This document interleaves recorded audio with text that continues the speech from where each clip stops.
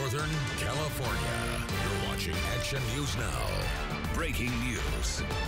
Much of the city of Chico is under water tonight. A slow-moving thunderstorm stalled over the area, dumping many inches of rain in a matter of a few hours, prompting a flash flood warning has turned so many streets, including the Esplanade, into rivers tonight. This is the Esplanade near First Avenue a couple hours ago. Now, there are reports of cars stranded in floodwaters from Pillsbury Road to Hicks Lane to Warner Street. We have a lot of breaking news for you tonight, including a fatal officer-involved shooting in Redding. We'll get to that in a few minutes. But first, more of the severe weather from heavy rain to flash flood warning to hail. We'll get to Haley Watson in just a minute, but take a look at this video from Hicks Lane, just north of Eaton Road. This is the far north end of Chico. This is one of the first areas hit hard by the pounding rain tonight. You can see there's actually several feet of water in the roadway. Flooding actually made its way right up to homes, but no indoor flooding that we're aware of. And if you weren't out in it yourself tonight, this is what it looked like around 7 p.m. This is a gas station at the corner of Eaton Road and the Esplanade as the heavy rain was practically falling sideways. The wind was gusting at about 20 miles an hour at times tonight. The good news is, thankfully, the extreme weather has subsided at this hour, 11.01 p.m. The flash flood warning expired one hour ago. Let's get over to Haley Watts. She's in the Storm Tracker Center. Haley. Yeah, Alan, let's kind of zero in on what's going on right now, and then I'll give you a look at what's happened over the past couple of hours. So here's where our storm's at right now. So this is uh, kind of the southern part of Butte County is moving off uh, toward, more towards Quincy than anything else. You can see Chico really largely unaffected at this time. Now taking a look at how much rain we're still seeing, up to about a, maybe a third of an inch an hour, and that's in the heaviest areas. Other areas like towards maybe Forest Ranch seeing just maybe about a tenth to a quarter of an inch an hour. So calm down quite a bit. But in the past few hours, here's from just from 820, we were seeing that flash flooding all across areas of Chico, uh, Highway 99, several lanes underwater and just city roads all over the place. Hamilton City saw about three inches of rain this evening and we had thunderstorm wind damage uh, to the trees along the Sacramento River. So if that's your route tomorrow morning, keep in mind it could be out there. A couple inches of hail, especially in the area around Meridian Road, knocking cars off of the road. And uh, Shasta County, not immune to this storm system either. Um, basically, some areas of Anderson, just in the past hour or so, still reporting areas of flooding. So taking a look at the next couple hours ahead, well, mostly clear out there, but we're not quite done with this weather yet. Uh, coming up in a bit, I'll check in and we'll take a look at tomorrow and the rest of our week. Thank you so much, Haley. Right now in the heart of North Chico, near Tinseltown Theater, Pillsbury Road has been under water for much of the night, stranding some drivers in the middle of the road. And that's where we find Action News Now reporter Laura Eng with the very latest tonight. Laura? Alan, I've been here for several hours now by Pillsbury and Eaton Road. As you can see right now, the road, it is completely clear of any flooding. If I hadn't been here just a few hours ago, I know it would be hard to believe, but take a look at this video that I shot earlier. It does show a car being towed away. It's one of seven trucks that was stuck in the water. Tonight, at this particular intersection, it was a story of teamwork, a story of community. What I mean by that, several people who were stuck in the water, they called their friends for help, and when they managed managed to get their car that was stuck out of the water. I was told they decided to stick around here and help other people out who were stuck here. And so it was all about people who didn't work necessarily for the city, working here, making sure other people were out of the flooding. I did speak with a public works manager from the city of Chico earlier, and I asked him, was this too much rain too fast? I also spoke with a person who lives near this area, and they shared with me what they thought about the flooding. I've lived here for 10 years, and um, this flooding is not normal for, for this area or or for all of Chico, I, I, I would imagine. Uh, certainly too much rain too fast. So we had a lot of flooding in locations where we don't usually see flooding at all. Um, so that's an indication that it was just simply too much rain all at once. Uh, but there's, of course, some storm drains that we've been able to unplug as well, which means they were plugged. As you can see in the distance behind me over here, that is Public Works over there. And like we just heard Skylar Lipsky, he's in charge of Public Works in Chico. He told me that there's a lot of flooding over here in parts that typically his department doesn't see. And he said he does attribute that again to too much rain coming into areas just way too fast. As you can see by those flashing lights over there in the distance, that is Public Works continuing to work on clearing some of the drainage that is clogged over there. I asked him, did you have to use any of the heavy equipment, any sort of giant vacuums, things like that? He said, no, that wasn't needed. It was pretty easy, pretty quick to clear the drainage. As you can see here, I've been reporting at this intersection for the past two hours now, and the roads, they are completely clear. Like I said, you almost wouldn't be able to believe that just about an hour ago, we were seeing about half a foot to a foot of flooding coming up nearly to my knees. But Public Works has done a fantastic job in clearing this. And as you can see, cars are able to drive safely through this intersection. I will continue to remain here, keep you up to date on the latest information at this intersection by Pillsbury and Eaton Road. But for now, reporting live in Chico, Laura Eng, Action News Now. Thank you, Laura. Now, this is flooding near downtown Chico. This building is at West 9th and Orange Street earlier this evening. There are actually people who were trapped in the upper floor. The floodwater is so high they, they couldn't even open the ground level doors, so they were waiting it out until the water subsided right there. East Avenue is also the scene of major flooding tonight. In fact, this is a two-car crash tonight that slowed traffic on the Esplanade at East. This video was taken about 8 p.m. Chico police worked to clear the scene and direct traffic in all directions. There's no word on any injuries here. Floodwater pooled into the Java Detour and Raley's and Carl's Jr. parking lots and turned the roads and the intersection into a river of water all along East Avenue from Highway 99 to Highway 32. Cars struggled to make it through, submerged in some areas. And just down the road, flooding happened so quickly on East Avenue that employees at Chuck Patterson Toyota had to swing into action moving cars on the lot because of the flooding. Then the employees kept waiting for the chance just to get out and make their way home tonight as the rain kept coming, kept pounding. Well, a neighborhood on DeGarmo Drive and Pence Road also dealt with the effects of the heavy rain tonight. Take a look at this video. You can see cars ripping through the water on the road. Water was even high enough to create a small whirlpool that you'll see right there in a moment. Our neighbors were shocked by the strength of the storm. And then check this out. That pile of white stuff there, that's hail that the storm dumped tonight in parts of Chico. This is West 15th and Salem, just off Broadway. Now, there's no flooding when we got there, but just a couple of piles of hail.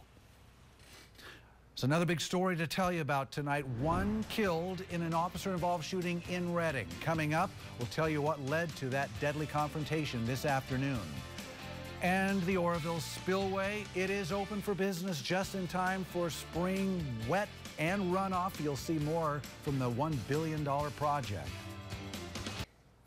A deadly police shooting is under investigation tonight in Redding. Action News Now reporter Spencer Joseph tells us what happened after police got reports of a suspicious man. 321 shots fired. 321, copy shots fired. Those were the initial dispatch calls Tuesday afternoon when an officer involved shooting left one man dead. Officers initially responded because people in the area say the man was acting very strangely. Uh, saying that there was a person acting very suspicious uh, in this area, this residential area near the McConnell Foundation. Uh, that was potentially watching children and acting bizarre.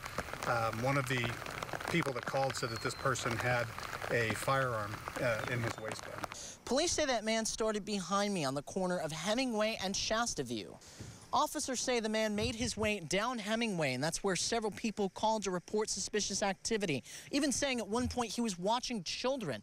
He made his way all the way past where these police cars now sit. The person was semi-cooperative, but then became very uncooperative. Uh, during a struggle, uh, one of the uh, patrol officers from the Redding Police Department fired uh, several shots. The suspect ultimately was uh, pronounced deceased at the scene. Homeowners in the area are extremely concerned that this would happen on their street. Have you ever seen anything like this? No, not at all. You know, really, we have a nice neighborhood. Oh, now and then we have a few people that come through and, and steal some things, but nothing of this magnitude at all. During the struggle, police say no officers or bystanders were hurt, but people living in this community are still shaken from the experience. That's not what you want in your neighborhood. You know, that type of person, that situation with a handgun. Uh, I think guns are important, but I think they need to be in the hands of the right type people, you know, so um, sorry for the situation for sure. And it unnerves everybody. Spencer Joseph, Action News Now. The Oroville Dam spillway was in use today for the first time in nearly two years. The DWR said that the spillway has been restored to full functionality. Repairs, you may recall, surpassed $1 billion. So releases today from the spillway reached 8,300 cubic feet per second. The department may increase those flows into the Feather River, Feather River later this week as much as 60,000 CFS. Now, we spoke to people who came out today to watch. I think they've done a good job. I mean, they've had the you know the engineers on it, and the, you know, I mean, they're under the microscope, so they, it's going to be done right. And I think it's it's working well. So I don't think people need to be scared. I think it's pretty cool that they're letting it out and it is working. Uh, the emergency spillway is not being used because that only goes over when the um, when the lake is full. But I think it's good that it works. But if you look at the sides, it looks like the sides of the spillway are like playing cards. That's kind of weird to see that. That if it'll, it seems to be with withholding the water, so that's good. The last time the spillway was used, nearly 200,000 people had to be evacuated across Northern California. And you may remember in early February of 2017, this is what it looked like. The dam's half century old spillway broke apart as it carried heavy flows from the storms. That year, heavy snow in the mountains doubled the region's snowpack in one week. State reservoirs were full after years of drought. Then on Tuesday, February 7th, huge chunks of concrete broke away from the spillway. On Sunday, February 12th, the threat of catastrophe became real when a large hole developed below the emergency spillway and no one knew if the hillside or the emergency spillway would simply cave in. Butte County Sheriff Kory Honea then issued a mandatory evacuation that sent 188,000 people from their homes. Everyone had one hour to get out. And now, Action News Now Storm Tracker weather. Coverage you can count on. Let's check in with Haley again. And you were talking about the amount of rain that came down tonight. It was, we see heavy downpours, but it just kept coming oh, tonight. Yeah. So several inches at least, yeah, right? it seemed unbelievable. Some areas were reports of up to five inches over wow. that time span mm -hmm. uh, when that storm cell just swept through Hamilton City, about three inches. But we're looking pretty close to all clear now, which is good news. Good, yeah. Uh, we're still going to keep this flood warning in effect. So the flash flood warning has expired as of 10 o'clock tonight for but this area of Butte County. Still keep in mind that through tomorrow morning at about 8.30, plan on those roads being flooded still. We're seeing the water go down. You saw Laura Eng out there on Pillsbury, and uh, the water levels have dropped substantially. But into the morning, especially if you get up early before the sun comes up, keep in mind that it could be still pretty deep out there in certain areas. All right, we're going to take a look at where the storm is moving right now. So moving uh, to the north and northeast, so headed maybe toward the Quincy area, looking like we could get some rain in Quincy pretty soon. Uh, but much lighter. Uh, we're seeing just about in the strongest parts, say north of the Feather Falls area. Right around here, we're seeing maybe about a third of an inch of, of rain over toward Forest Ranch, maybe a tenth to maybe a quarter of an inch at the most. Now, as for what we saw over the last couple of hours, this reported just around 8.30, flooding on the southbound lanes of Highway 99 all across really the city of Chico, uh, flooding in the Nord area, so homes uh, west of Eaton, about a foot and a half of water in, in driveways in those homes over there. Hamilton City, as I said, three inches of rain as that storm moved through. We're seeing uh, thunderstorm wind damage to trees uh, right around the Sacramento River area, trees knocked down. So that's another thing to keep an eye out for tomorrow morning when you're heading off to work, especially if it's dark out there. We could see some downed limbs uh, into some of the roadways. Hail was a huge issue. We saw up piling up to two inches high in some areas, up to maybe three quarters of an inch in diameter. That threw some cars up the road over by Meridian and Highway 32 as well. And Shasta County also had some flooding issues we saw in Anderson just in the past hour or so. Um, areas of Anderson off Highway Interstate, um, Highway 5, uh, still dealing with issues of flooding in some areas. So the good news is looking like it's mostly clear, just some scattered showers throughout the night tonight. And as we move into the day tomorrow, it's not looking too substantial. We're seeing maybe oh, about a tenth of an inch in rain as we go through our day Wednesday. Here's 8 p.m. and we're looking at less than a tenth of an inch of rain in Chico, maybe a bit more in the Red Bluff area. So watching this next storm that's moving through because we're not done yet. Unfortunately, we don't have a sunny weekend ahead. So this is for your Thursday scattered showers. Uh, and picking up really on Friday, you're going to see this nice band of moisture coming through. And this is one that we'll keep an eye on because we're seeing uh, lower snow levels with this. We're seeing heavy rain yet again. And this is not scattered showers like what we saw today. This is pretty continuous rainfall across Northern California for your Friday afternoon and into your Saturday morning, waking up to more rain on and off throughout the weekend. Sunday looking like we could see some showers as well, but you might see some sunshine as well for your Sunday.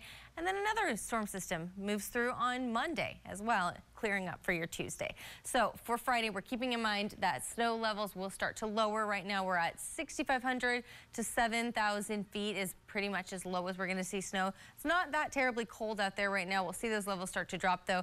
Couple inches, uh, maybe up to four inches at the higher elevations on Thursday. But then on Friday, we see up to two feet at 6,000 feet. So if you have any plans for this weekend ahead to the mountains, you may want to reconsider, especially if you don't have four-wheel drive on your vehicle. Uh, be very careful out there on the roadways. Uh, look at your day tomorrow quickly. Trinity, Siskiyou region warming up to the 50s. And what we're seeing here is just that chance for showers in the mornings. Uh, we're not looking at heavy rainfall for your Wednesday. Across the foothills warming up to the 50s, North Valley 50s warming up to the 60s. And we'll see the same in the Mid Valley. Uh, could be pretty gusty out there, but we're not planning on a huge chance for any rain. Here's a quick look at your seven day forecast where the weekend's always in view and we're seeing 50s and 60s. 50s for your lows, 60s for your highs. So across the valley, really Friday is what we're keeping an eye out for in terms of how much rain we're going to get, mostly looking at Friday afternoon uh, for more dangerous conditions, if you will, in terms of rain and snowfall in the mountains. But maybe as we get into the weekend, we'll clear out again. All right. Thanks a lot, Haley. Busy night, right? Well, uh, we'll be right back. Check in with Laura Eng again right after this. Well, welcome back. We had reporters driving all around Chico this evening to get the very latest on the flooding, and that included abandoned cars, it's been a crazy evening out there, and Laura Eng went over to Pillsbury Road in Chico, where, uh, if you're not familiar with the area, that's where Tinseltown is, for example. So it's right in the heart of North Chico. Crazy flooding earlier this evening, a very different scene now. So let's go to Laura Eng for an update on what's going on. Laura? And at this point, as you can see behind me over here, take a look at the flooding is completely gone right now. Today, it was all a story of teamwork and community, like I've been saying. For the past few hours here, during my live shots, several people we could cut to some video now that we shot earlier. As you could see, there were some cars that were stuck in the water, about seven of them, I was told by witnesses.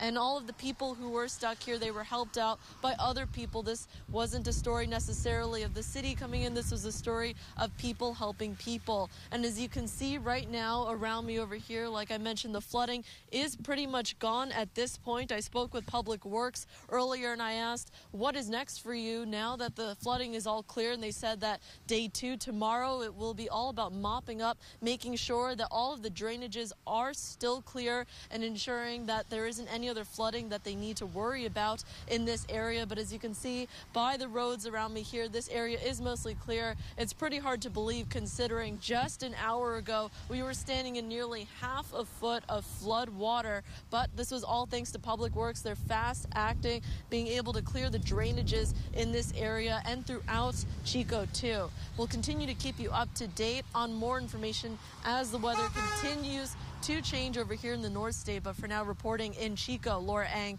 Action News Now. And uh, we'll be right back. Stay with us. We do have one local uh, sports story we want to share with you tonight. Chico State's Tyler Arroyo is heading back to the NCAA championship and also earned Conference Athlete of the Week for the fourth time in his career. Arroyo is one of the top collegiate high jumpers in the nation and a favorite to win it all in the 2019 in 2019, I should say. Well, he finished third at last season's championship, but he's looking to win big this time around. The senior cleared 2.17 meters, which is about 7 feet 2 inches, in last Saturday's Invitational at Stanford. It earned him an automatic bid to, bid to the championships. The high jump is an event where you basically just run at the bar, usually taking about 10 steps and try and jump as high as you can and clear a bar. It feels good to be able to keep contributing to the team and be able to improve in my event. Um, so I'm just glad that I'm able to keep uh, doing good. Now, local track and field fans can check out Arroyo and his teammates this Friday and Saturday as they host the Chico State Distance Carnival and Twilight Invitational Men's High Jump. The Invitational starts at 2 p.m. Friday, 10 a.m. Saturday. Admission is free. Well, it's been 17 months since the Tubbs fire devastated entire neighborhoods around Santa Rosa. Now the rebuilding has begun. And as reporter John Ramos shows us, some fire victims are choosing a construction method that promises to get them home sooner. Building a house can be mentally exhausting with a thousand decisions to make and timelines to juggle. Now imagine doing that while you're also trying to rebuild your life. Came right over the top, right over that ridge, all the way into town. When George Nostrand lost his home in the Tubbs fire, he knew he wanted to rebuild. But there was one thing at the top of his wish list. Not spending three or four years of my life building. So George turned to a company called Hybrid Prefab Homes in Santa Rosa. They customize pre-designed floor plans, build them in modules in a factory, and deliver them to the site. George's new 3,000 square foot home arrived in four pieces with cabinets and fixtures already installed. Finish work is almost complete and he expects to be in the home in just a few months. If you know what you want, and like or you know know what you had want to re replicate it it makes it pretty easy. The company's managing partner says besides costing about 20% less than traditional construction prefab houses offer something that appeals especially to traumatized fire victims the chance to put the disaster behind them quickly and get on with life. Most of them are actually living on their properties so every day they look outside and they see what's not there anymore and they're really really wanting to get back to to it, you know, whatever that home may be. George says of the 100 homes that burned in his area, only 30 are being rebuilt. The rest of the victims have left. But he's staying because he doesn't want to give up what's just beyond his back porch. I wish I had more live trees around, but uh, the view is still great, so we're happy. The builder says, depending on design, prefab homes average about 8 to 14 months to build, compared with two years in the traditional method. In Sonoma County, John Ramos, KPIX 5. There's another reason why speed is important. Many fire victims are facing a two-year time limit for insurance claims to be paid. Up next, we'll check in with Haley Watts once again for one final look at our forecast on this very wet and windy flooding night. Let's get one last check of the forecast before we say goodnight. Uh, Haley uh, is here once again, and uh, hopefully tomorrow's not going to be quite like today. It's not looking like it, that's for sure. Now, we do have, as we go into our day tomorrow, we do still have a flood a warning through areas of Butte County. So everywhere where that those floodwaters really rose high today, uh, keep in mind they're probably not going to completely recede Uh, especially as you're heading off to work tomorrow. So be careful out there. This is that storm system now. So you're seeing it moving toward the northeast, kind of toward the Quincy area, but we're not completely done with the rain yet. We're still seeing scattered showers just east of Orland and through the Chico area, at, but very slow rays, less than tenth of an inch there. The strongest part of this storm really is just about a third of an inch. That's north of the Feather Falls area. And behind it, not a whole lot. So throughout the night, just a chance for those continued scattered showers. But moving in the day tomorrow, we're looking at, uh, yeah, Wednesday should be the driest day this week. Rain starts to pick up again, though, as we get on Friday. We're going to really have to keep an eye on it. It's supposed to really pick up, especially into the afternoon, and we'll see snow levels drop up to a couple of feet of snow and then we're moving into our weekend. I've just never uh, seen anything like it. I've been I've been here for almost 20 years. Oh, wow. And Yeah. and so just so widespread as it came so quickly tonight. Yeah. The flooding was just something. Incredible the last couple of hours. Hey, well, real quick, today is a day to celebrate a classic sandwich combination. It is, or was, National Peanut Butter and Jelly Day. According to nationaldaycalendar.com, the average American eats more than 2,000 PB&J sandwiches by the time they graduate from high school. In the early 1900s, peanut butter was considered high class and could only be found in the finest New York City tea rooms. I love peanut butter and jelly. They're so good. Still. Thanks for joining us, Stage Ride. Have a good night. Thanks for watching.